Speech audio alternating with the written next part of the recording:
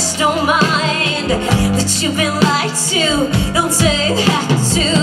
How could you be so blind to let them cut you down?